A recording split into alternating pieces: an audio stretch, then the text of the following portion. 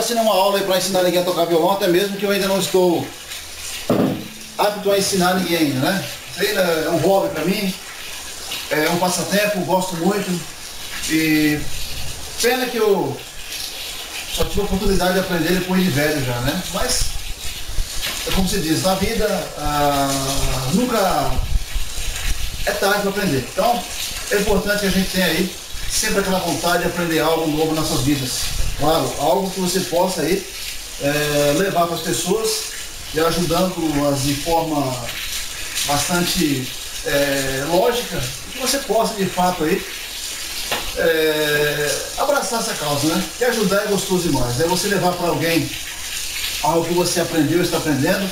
Isso pra gente é muito gratificante, tá bom? Seja bem-vindo a mais um vídeo aqui no canal. Bom, o nome está coberto aqui, né? Mas você já conhece o canal. É Speedway Format. Ok? Então vamos mais para um vídeo, para mais um vídeo, onde Paulo Pedreiro está aqui. É, eu até marquei no papel, tá pessoal? Tá chovendo bastante lá. Eu ia falar assim, tá chovendo bastante lá fora, né? Ainda bem, né? Ainda bem que eu de casa, né? Mas tava desse dia. Até a mulher achou engraçado ali. Minha mulher agora é minha, minha assistente de filmagem aqui. É, vídeo, dúvidas, tirando dúvidas de um seguidor do canal sobre funcionamento da porta camarão. Exatamente. É, eu tenho no canal um vídeo ensinando você a instalar a porta camarão, só lembrando que aqui não é uma porta camarão, são duas portas comuns que eu vou utilizar para a gente ilustrar como é que funciona o seu funcionamento e como é que é feita a instalação no canal aqui no vídeo. Como também eu tenho um vídeo ensinando você a instalar uma porta pivotante. Tá? É como eu falei, é, na vida, quando queremos aprender algo, e isso exige dedicação, tempo e perseverança, senão a gente não aprende. Então, eu acho que é o que você deve, o que eu devo levar para a nossa vida. Ele mandou algumas mensagens para mim e falou, Paulo, eu assisti sua aula, é, gostei muito, foi bastante explicativo, é, a forma que você explicou, porém eu tenho algumas dúvidas. Tá? Eu conversei com ele através do WhatsApp, deixo para você aí, caso você queira é, tirar alguma dúvida, caso você queira também é, dar alguma ideia de vídeo, de repente você tem alguma sugestão bacana, é bem-vindo. Aqui eu não sou dono da razão não, aqui também eu sou aprendiz como você, tá bom? E ele falou, Paulo, é o seguinte, eu queria tirar algumas dúvidas sobre isso, isso assado. E através dessas dúvidas eu vou explicar para vocês agora como é que funciona, como é que é feita a instalação na porta. A instalação na prática você vai aprender aqui, que eu tenho um vídeo que eu vou deixar do lado direito do ecrã desse vídeo aqui, tá? No card, vai aparecer um círculo em cima aí. Você vai clicar e você vai conferir os dois vídeos que eu tenho. Um ensinando você a instalar a porta camarão, tá? E a porta pivotante. Tá joia? Essa porta camarão, ela tem um funcionamento é, semelhante, tá pessoal? A porta sanfonada. Não deixa de ser uma sanfona, porque ela é uma porta articulada, tá? Elas são duas portas em uma, tá ok? Onde vamos trabalhar com dobradiça, ela vai articular Tá ok? E é essa a dúvida que ele tem, como é que funciona. Pessoal, é o seguinte, vamos começar o vídeo aí. Eu vou retirar a câmera do tripé, tá? E vou explicar para vocês como é que funciona. Tá joia? Bom, pessoal, aqui está a porta, tá? Essas portas, na verdade, são duas portas que eu ganhei é, do cliente meu, do apartamento onde eu reformei recentemente. Inclusive também tem alguns vídeos falando aí, né? sobre diversos assuntos na reforma do apartamento, tá? São duas portas, porém as duas têm as mesmas medidas, tá? São portas comuns, como vocês podem observar aí, eu tenho aqui a dobradiça, tá? Aí, né?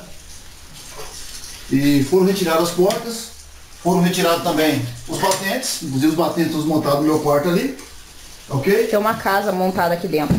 É, e eu vou utilizar essas portas para ilustrar, para a gente poder é que pedreiro é assim, né? Pedreiro a gente tem que juntar e guardar as coisas, eu não jogo nada fora. Eu sou um cara que eu, que eu, eu procuro sempre contribuir com a, um pouco que eu posso com o planeta. Hoje mesmo eu juntei um monte de reciclado ali, um rapazinho na praça, peguei o carrinho com ele, aqui enchi do viado, tinha uma bicicleta velha, um carrinho velho de feira, é, feira no mercado que estava aí, quebrado, umas coisas que eu separei, garrafa, latinha, enfim, tudo que é reciclável, juntei para ele, né? Sorridei aqui, que ele vai vender, pegando os troquinhos, né?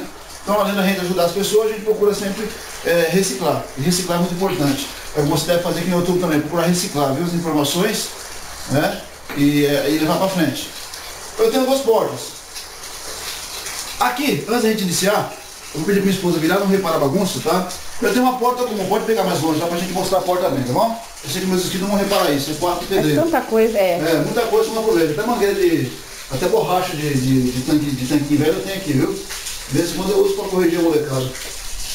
Vai falar isso, ó o Eca. É brincadeira, né? É, dá vontade, dá. O molecada que tirar o tiro, tiro sério, né? Pessoal, assim, tem uma porta comum aqui, vou falar um pouco mais alto porque tá chovendo, viu? O pessoal já reclama do áudio, né? Então, é uma porta comum, tá? O que, que tem a ver essa porta comum com essa porta que eu vou explicar agora?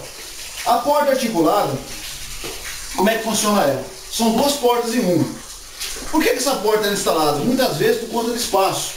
Às vezes essa porta articulada, a porta comum como essa aqui, eu não consigo ter nenhuma abertura, né? De repente eu tenho aqui um armário, alguma coisa do tipo, entendeu? É, E aí o que acontece? Eu não tenho esse espaço. Então a porta articulada ela vai me dar essa opção. Por quê? Porque quando eu abrir a primeira folha, ela vai abrir para cá, a outra vem fechar. Tá? E essa porta onde eu tenho o vídeo instalando, ela é feita na onde? No batente, aonde tem o, o, o caixilho, que é isso daqui, ó, tá? Deixa minha esposa mostrar aí. Aqui, ó, o caixilho, pessoal. Tá bem claro aí? É isso aqui, tá vendo? É esse encaixe, tá?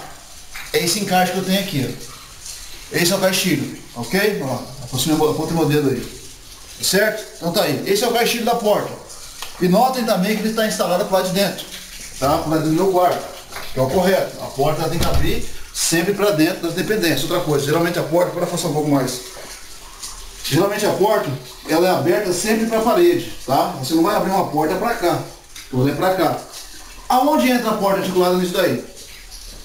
Para ganhar esse espaço. Aonde não tem esse espaço total, ela vai fechar. Aqui no caso, se fosse por uma porta articulada, ela viria duas peças. Aqui eu tenho uma porta com 80, tá? Ela vai dar 80. Então essa porta viria, tem uma caneta aqui, ela viria com 40. Duas peças com 40, ou seja, essa peça separada, separada. Tá? E aqui ia entrar as três dobradiças no mesmo alinhamento que vocês estão vendo aqui, ó. Tá? Essa dobradiça aqui no meio vai pegar o mesmo alinhamento daqui, ia ter uma dobradiça no meio, aqui uma dobradiça no meio e lá embaixo também uma, uma dobradiça no meio. É, como é que funciona? A primeira folha quando eu abrir, ela vai abrir para cá normalmente, como vocês estão vendo aqui. A segunda folha, pedi para você afastar um pouquinho, a gente ilustrar agora melhor, tá? Dessa forma aqui, tá? Ela, ela é instalada aqui, ok? Nota que eu tenho aqui a dobradiça, pessoal. Tá? Assim, outra coisa importante, as portas de cima devem trabalhar alinhadas, tá? Elas têm que trabalhar alinhadas as duas folhas, ok? O que acontece? A, a primeira porta, a primeira folha quando abrir, pra cá, a outra folha faz isso daqui, ó. Igual tá aqui, tá vendo? Essa porta aqui, como se fosse aquela, ela abriu pra cá, essa outra porta vai fazer assim, essa outra folha, ela vai fechar aqui, ó. Tá? Então ela fechou. Então ela vai trabalhar assim. Ela é articulada e encostei pro lado. Quando eu fechar ela, ela vai fazer a mesma coisa. Ela vai vir, ela vai puxar outra folha, tá? Ela vai vir puxar outra folha e vai fechar, tá? Todo o meu batente. Dessa forma aqui, ó. Lembrando que a dobradiça aqui não está instalada, viu pessoal? Só está instalada na, outra folha. Não está instalada, não está instalada.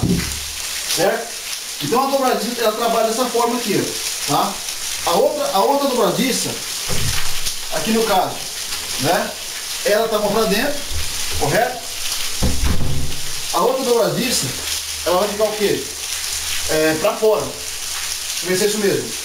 Aqui. Dessa forma aqui. A outra abriu, a outra vem e fecha. Dessa forma aqui. Entendeu? Aqui. Ela vai estar aqui instalada, certo? Instalou. A outra vem, ela vai abrir aqui, ó, certo? Abriu. Olha isso aqui, ó. Vou ficar confuso pessoal. Ok? Aqui, ó. Ela vem, abriu, certo? Ali a minha dobradiça está para fora, como vocês estão vendo ali, tá? E essa outra folha de porta, quando eu, quando eu vier, vier com ela, ela vai isso aqui, ela vai fechar para lá. Ou seja, é uma dobradiça para dentro e a outra para fora. Se você botar as duas para dentro, o que vai acontecer? É, você não vai conseguir fazer aí, né? O fechamento dela. Vai dar problema. Então, é o primeiro ponto que você vai entender que funciona. Então essa dobradiça, lá no caso aqui, seria do meio. Tá? Do meio. Se as duas dobradiças ficar, por exemplo, aqui vai aqui, que essa daqui ficar assim, não dá certo. Como é que é feito o procedimento? Para você entender. Tá?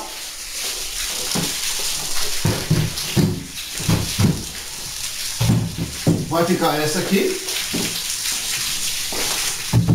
Essa aqui é a parte externa.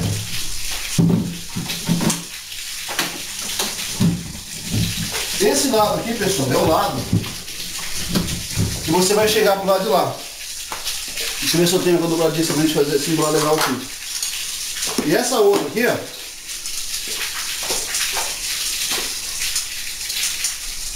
Aqui, vai ficar assim. Tá. Então fica uma para fora? Para dentro e a outra para fora. Certo? Então assim, ou seja, essa dobradiça ela vai ficar para dentro, tá? E a outra, quando você olhar por aqui, você não vai ver a, do, a outra dobradiça aqui. Ficou bem claro no vídeo? Fica liso. Entendeu?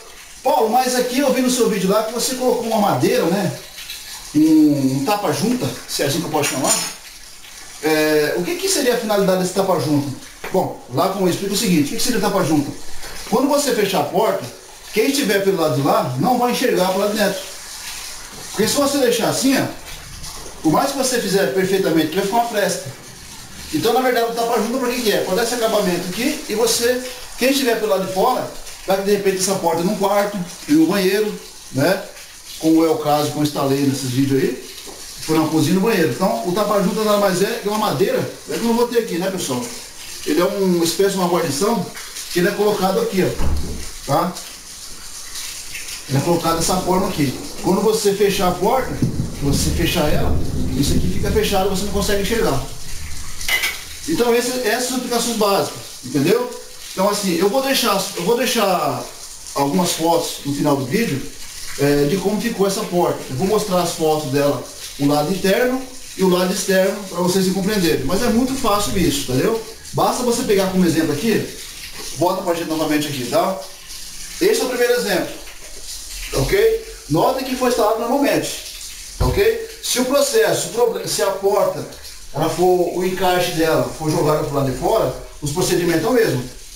Lembrando que a primeira folha de porta a ser instalada, a primeira dobradiça vai aparecer aqui, ó, certo? A segunda dobradiça, tá? O segundo jogo dobradiça, que é o meio, ela vai ficar ao contrário. Tá me entendendo?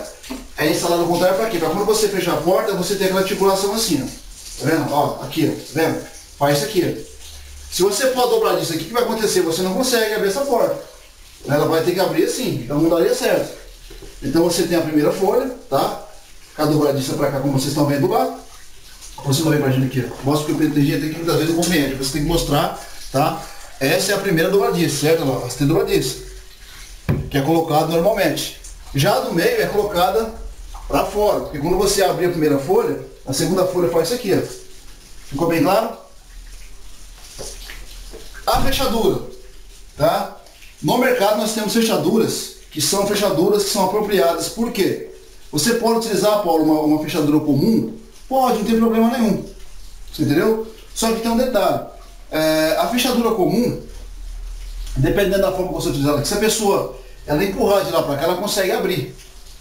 Ela consegue abrir, tá? Tem uma fechadura que ela é especial. Quando você, quando você fechar, tem um gancho. É, eu vou ver se eu consigo achar o número dessa fechadura e deixo para você no final do vídeo aí. Quando ela é fechada, ela faz isso aqui, ela, vem, ela trava, tá? Isso evita a pessoa tentar forçar. Porque uma vez que o meio dela é articulado, então se você vier empurrar, a pessoa consegue abrir ela. Tá me entendendo aqui, ó? ó. Então se não tiver uma fechadura de acordo aqui, ela pode soltar. Tá? Lá na casa onde eu coloquei a fechadura, eu coloquei a fechadura comum. Não teve problema nenhum.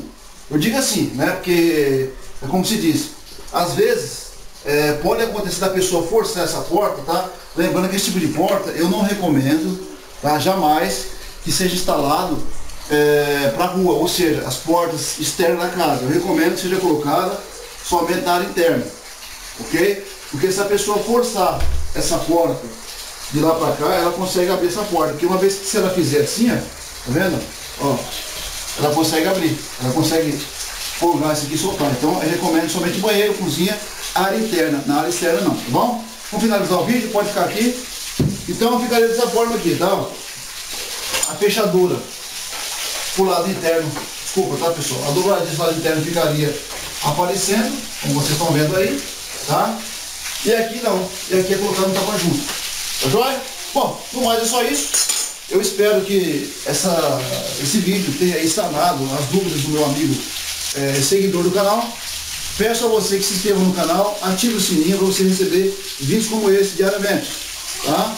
E caso você tenha dúvidas sobre qualquer procedimento, seja no cálculo do metro quadrado de, uma construção, uma alvenaria, para sentar um revestimento, um reboco, fazer um contrapiso, manda para mim mensagem no WhatsApp, tá bom? Mas lembrando, viu? Eu só consigo responder vocês de manhã ou à tarde, ou final de semana, estando tudo na calma aí, eu, eu consigo responder para vocês, tá?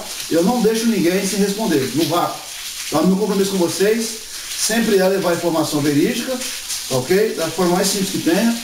E sempre visando o quê? A qualidade, a durabilidade e a credibilidade que o profissional tem que ter e repassar para as pessoas aí.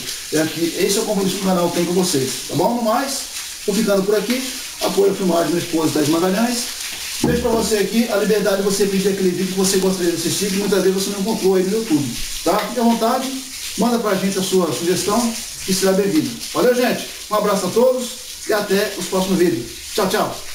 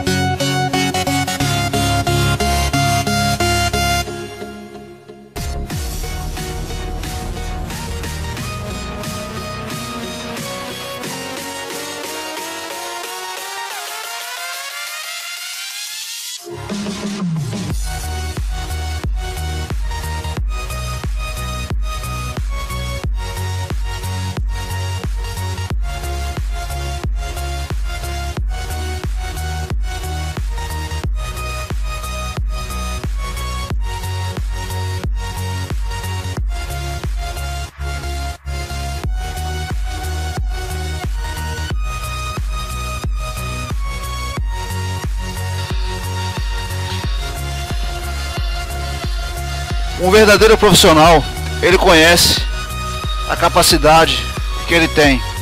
Um verdadeiro profissional, ele respeita o seu cliente, ele valoriza cada vez mais aquilo que foi lhe concedido para que ele possa cada vez atuar com verdadeiro compromisso, levando sempre o melhor, valorizando, considerando e sem sombra de dúvida, dando o seu melhor. Por isso, ser profissional não é simplesmente ser alguém, mas sim ter compromisso com aquilo que você vem a fazer.